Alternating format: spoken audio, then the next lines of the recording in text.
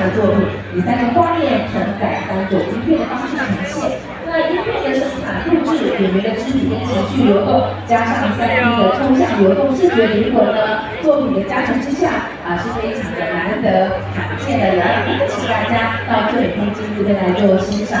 恭喜 Screen 这两位，谢谢。好的，紧接着我们恭喜。